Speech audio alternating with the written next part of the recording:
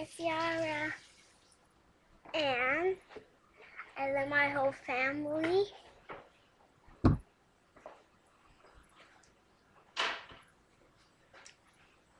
See? That's what you want to say?